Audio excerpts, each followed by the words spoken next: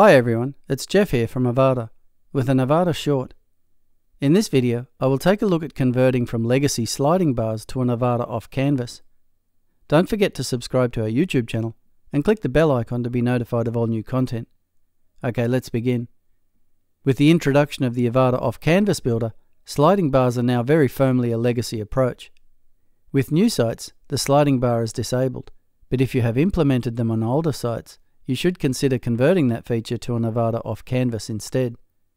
One of the main reasons to convert to an off canvas is that sliding bars also rely on another legacy feature in the form of widget areas and widgets.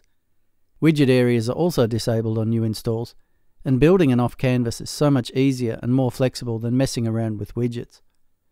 This is because an Avada off canvas provides full flexibility of content as you build them using the Avada Builder, just like any other content and the display and triggering options as well provide a huge number of advantages over legacy sliding bars.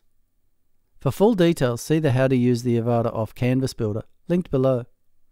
I have implemented a legacy sliding bar here on the Avada campaign pre-built, and as you can see, it's toggled open and closed by a small icon. The content, as I mentioned, is coming from various widgets. So let's just come to the global options and the sliding bar and disable sliding bars on desktop. Now this site already has an off-canvas set up. Off-canvases can be triggered in many different ways, including on page load, by clicking on a selector, or as is happening in this case, by clicking on an icon that opens the off-canvas by way of a dynamic content item.